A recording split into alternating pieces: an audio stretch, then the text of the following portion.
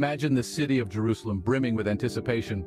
The air is thick with excitement, and the city is abuzz with chatter about the arrival of a man named Jesus.